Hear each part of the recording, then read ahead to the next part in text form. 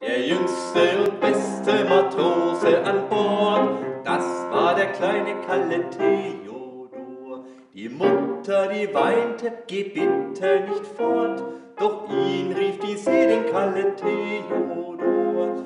Wenn der Sturm in den Mantel pfiff, dann rief er laut Ahoi, ohe.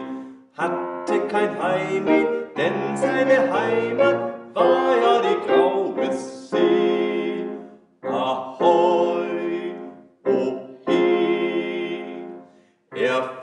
auf den Meeren der ganzen Welt, der kleine Matrose Kalle Theodor.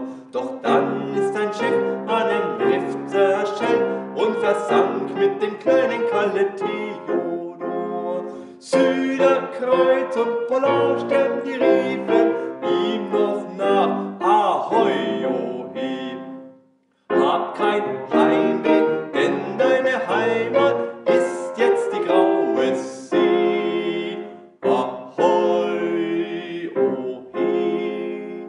Klabautermann nahm ihn in seinen Arm, er ist der beste Freund von Kalle.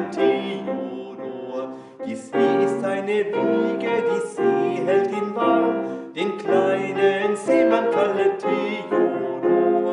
Wenn der Sturm in den Wanten pfeift, dann sagt er dir Ade, Ade. Junge, kein Heimweh, body go with